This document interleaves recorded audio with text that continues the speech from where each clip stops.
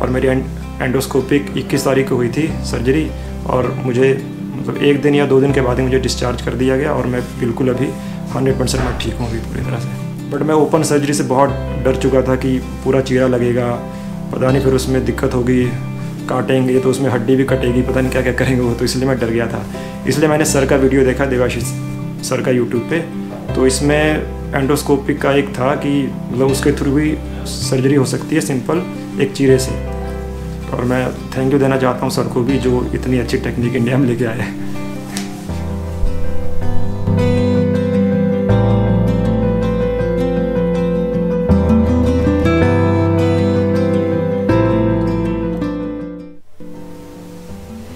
मेरा नाम अनुज कुमार है। मैं एक गवर्नमेंट सर्वेंट हूँ। मैं 2018 में जिम करने गया था जिम में। तो मैंने शायद डेडलिफ्ट मैंने किया तो अजीब सा जर्की सा मूव हुआ। तो उससे मेरे बैक में पेन हो गई बहुत सीवियर पेन हुआ मेरे बैक में। तो मैं तो वहाँ पर कुछ समझ नहीं पाया।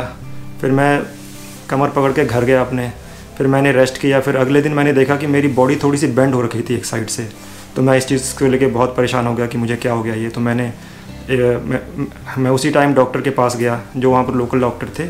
उनके पास मैं गया। तो उन्होंने पहले बोला कि आप एक्सरे करवाइए।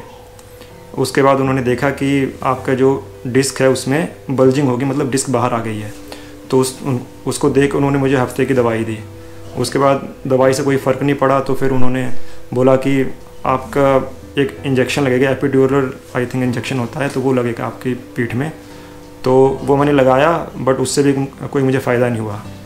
फिर मैंने वहाँ पर physiotherapy Lee one two three weeks but उससे भी मुझे कोई फ़ायदा नहीं मिला।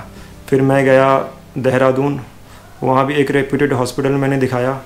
बट जब मैं वहाँ पर गया तो उन्होंने बोल दिया कि अगर, उन्होंने मुझे 20 दिन की दवाई दी पहले लिख के कि अगर आप इससे ठीक नहीं होगे तो आपकी सर्जरी करनी पड़ेगी। इस चीज़ से मैं बहुत ज़्यादा घबरा गया डर गया इस चीज़ को लेके। तो फिर मैं बीस दिन के बाद फिर गया वहाँ पर तो उन्होंने बोला नहीं, आपकी सर्जरी ही होगी। तो मैंने मतलब छोड़ दिया। मैंने, ये, मैंने सोचा कि नहीं, मैंने मतलब सर्जरी करवानी ही नहीं है। मैं तो इतना ज़्यादा हो गया था उस चीज़ से। तो फिर मैं दोबारा, फिर मैंने क्या किया 2019 2019 में मैंने खुद ही एक्सरसाइज वगैरह शुरू करी फिजियोथेरेपी ली तो उससे थोड़ा सा कंट्रोल हुआ मेरा। 60-70 परसेंट तक हो गया था। बट ये 2020 20 में अप्रैल में ये फिर से दोबारा मुझे आ गया और थोड़ी सी बॉडी मेरी बैंड फिर से दोबारा हो गई। और वो अप्रॉक्स टेन डेज़ लग गए उस चीज़ को ठीक होने में। फिर से मेरे, फिर से ये सितंबर में जाके फिर से मुझे दोबारा ये पेन स्टार्ट हो गया। तो फिर मैंने दो महीने तक देहरादून में फ़िज़ियोथेरेपी ली बट उससे भी कोई मुझे राहत नहीं मिला। मैंने फ़िज़ियोथेरेपी कम एक होता है कारोप्रैक्टर होता है तो मैं उनके पास गया बट उससे भी कोई फ़ायदा नहीं मिला।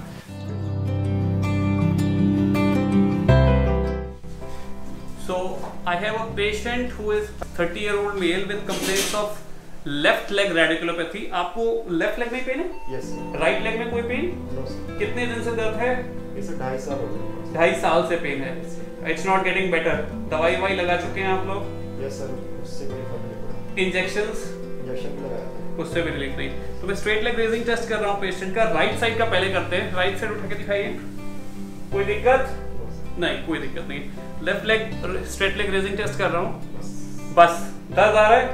दर्द आ रहा है. सिग्निफिकेंट पेन पेशेंट को आ रहा है. एक बार पैर को ऊपर खींच के देखिए.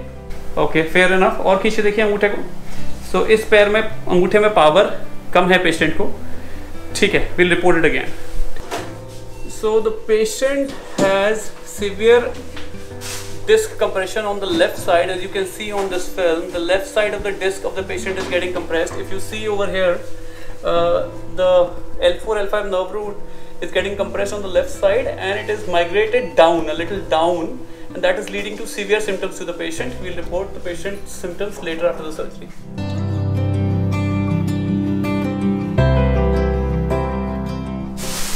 So this is five minutes post operative पाँच मिनट हुए कितनी देर हुई सर्जरी को? पाँच मिनट हुए होंगे। राइट लेग में तो कोई दिक्कत थी नहीं? राइट लेग ऊपर करके दिखाओ। कोई दिक्कत? नो सर नहीं। ठीक है। अभी लेफ़्ट लेग को भी ऊपर करेंगे। ये नहीं हो पा रहा था? यस ऑल ओके यस कोई पेन तो नहीं आ रहा? Comfortable Yes. ठीक है तो straight leg is instantly negative thank you दिसंबर में ठंड के कारण मेरी पेन इतनी ज़्यादा बढ़ गई कि मैं बेड से भी नहीं उठ पा रहा था। तो फिर मैंने 25 तारीख को 25 दिसंबर को मैंने हॉस्पिटल में दिखाया मुजफ्फरनगर। तो वहाँ भी डॉक्टर ने बोला कि आप मतलब एमआरआई देख के ये बोला कि आप सर्जरी ही कराओ। आपका कोई ऑप्शन नहीं है इसमें क्योंकि आपकी डिस्क बहुत ज़्यादा बाहर आ चुकी है। बट मैं ओपन सर्जरी से बहुत डर चुका था कि पूरा चीरा लगेगा, पता नहीं फिर उसमें दिक्कत होगी, काटेंगे तो उसमें हड्डी भी कटेगी, पता नहीं क्या क्या करेंगे वो तो इसलिए मैं डर गया था। इसलिए मैंने सर का वीडियो देखा देवाशीष सर का यूट्यूब पे। तो इसमें एंडोस्कोपिक का एक था कि मतलब उसके थ्रू भी सर्जरी हो सकती है सिंपल एक चीरे से। तो फिर मैंने सर से बात करी और मैं फिर यहाँ पर आ गया और मेरी एंडोस्कोपिक 21 तारीख को हुई थी सर्जरी और मुझे मतलब एक दिन या दो दिन के बाद ही मुझे डिस्चार्ज कर दिया गया और मैं बिल्कुल अभी 100 परसेंट मैं ठीक हूँ अभी पूरी तरह से। और मैं थैंक यू देना चाहता हूँ सर को भी जो इतनी अच्छी टेक्निक इंडिया में लेके आए।